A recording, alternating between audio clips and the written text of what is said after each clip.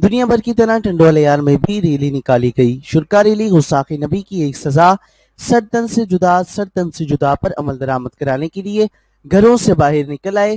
France, Norway, Sweden से सफारती समाजी ताल्लुक खत्म करने का मुतालबा करते रहे, जबकि मसाजिद में कराम ने भी जुमे के खुतबे के दौरान गुस्सा खाना अमल की मसम्मत की, इस्लाम अमन का दर्श देता है। रिलीज़ से शुरा ने खिताब करते हुए कहा कि मुल्क से इंतहा पसंदी खत्म करना है तो हुकूमत असमत सहाबा को तहफ़ करे। साहबा इक्राम की शान में गुस्साखी करने वाले जनूनी और इस्लामी दुश्मन हैं। गुस्साख सहाबा करने वालों के खिलाफ मजम्मती करारदादे पेश की गई। उन्होंने कहा कि यहूद नसारा के एजेंडे मुल्क में मजहबी फिरका वारियत की आग को फैलाने की साजिशों में मसरूफ है। मुल्क के हालात किसी को खराब करने की इजाज़त नहीं देंगे। इनका कहना था की इश्क रसूल और मोहब्बत सहाबा के बगैर ईमान मुकम्मल नहीं होता, मुल्क में निज़ाम मुस्तफ़ा की नफाज के लिए आयन के दायरे में रहकर जदोजहद कर रहे हैं मुल्क में सारे निज़ाम नाकाम हो चुके हैं। निज़ाम मुस्तफ़ा ही वाहिद निज़ाम है, जिसमें फौरी अदल और इंसाफ और गरीबों को हकूक मुहैया होंगे। हम ये समझते हैं कि कोई भी जी अकल शख्स सहाबा कराम या अहल बैत तहार की शान में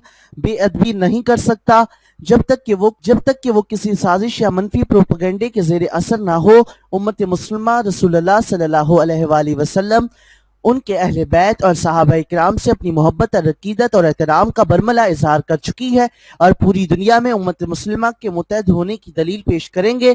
कैमरा टीम के साथ Tariq Hamid Abbasi H N news, टंडोवाला यार।